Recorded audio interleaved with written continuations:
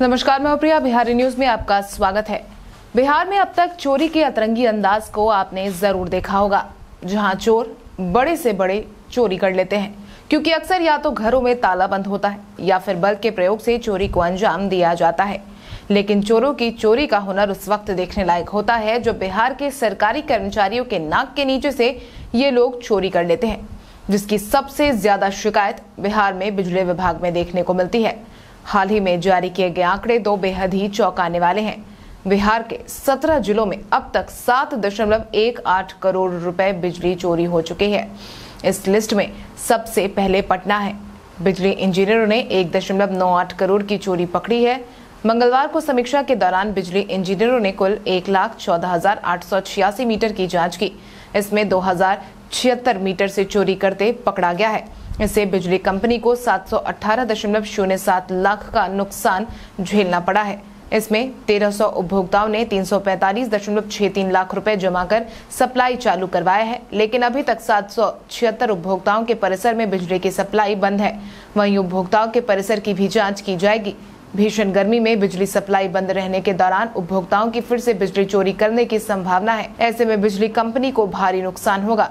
वहीं south Bihar power distribution company के GM राजस्व अरविंद कुमार ने बताया है कि जाँच में बिजली चोरी होने का मामला सामने आया है, जिसके बाद सभी सर्कल की जाँच की संख्या बढ़ाने और दर्ज होने वाले प्राथमिकी कार्रवाई सुनिश्चित करने, बिजली चोरी में पकड़े जाने वाले उपभोक्ताओं के परिसर की लगातार निगरानी करने का टास्क दिया गया है।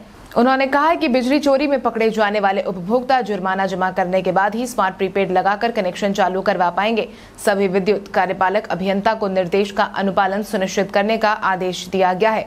वहीं जिन जिलों में बिजली की चोरी हुई है, उसकी बात करें तो पटना में चार लाख अट्ठाईस हज़ार एक सौ छियालीस दशमलव तीन चार लाख, गया में तीन लाख छप्पन हज़ार एक सौ चालीस दशमलव चार नौ, जमुई में चौदह हज़ार चार सौ उनचालीस दशमलव एक सात लाख, मुंगेर में अंठावन सौ चौबीस दशमलव पाँच आठ लाख। वहीं अंचल प्राथमिकी जुर्माने की बात करें तो पेसू पूर्वी चार हज़ार छह सौ सैंतीस दशमलव तीन चार लाख, पेसू पश्चिमी एक हज़ार चार सौ चौदह दशमलव छह चार लाख, आरा तेरह हज़ार नौ सौ बीस दशमलव छह एक लाख, औरंगाबाद चौबीस हज़ार आठ सौ अंठावन दशमलव चार नौ लाख, भागलपुर पाँच हज़ार आठ सौ पच्चीस दशमलव तीन शून्य लाख, नालंदा दो लाख उनासी हज़ार एक सौ उनतीस दशमलव चार एक लाख, सासाराम तीस हज़ार छह सौ इक्यासी दशमलव सात शून्य लाख है।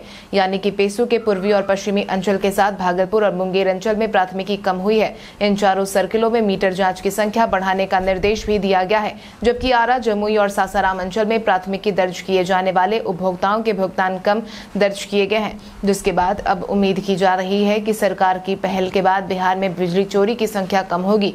सरकार बिजली चोरी कम हो इसके लिए ही घर घर में स्मार्ट प्रीपेड मीटर लगाने का काम कर रही है। लेकिन इसके बावजूद इस तरीके के आंकड़े आना चिंताजनक हो सकते हैं। हालाँकि बिहार में बिजली चोरी की समस्या पहले के मुकाबले कम हुई है, क्योंकि स्मार्ट प्रीपेड मीटर लग जाने से उपभोक्ताओं को बिजली का इस्तेमाल करने के लिए पहले बिल देना पड़ता है। उसके बाद ही वो बिजली का इस्तेमाल कर पाते हैं। खास और साथ ही साथ में ये भी ज़रूरी होता है कि बिजली खत्म होने के बाद तुरंत ही उसे रिचार्ज किया जाए, वरना बिजली आपकी काट ली जाती है। ऐसे में बिजली चोरी की शिकायतें तो अब कम आ रही हैं, लेकिन फिर भी जिस तरीके के आंकड़े सामने आए हैं, वो चिंताजनक है। हालाँकि उम्मीद की जा रही है कि सरकार अपनी तरफ़ से हर संभव पहल करते हुए बिहार में बिजली चोरी की समस्या को कम करने में कामयाब रहेगी। इसके साथ ही आज के इस वीडियो में बस इतना ही। तब तक के लिए धन्यवाद।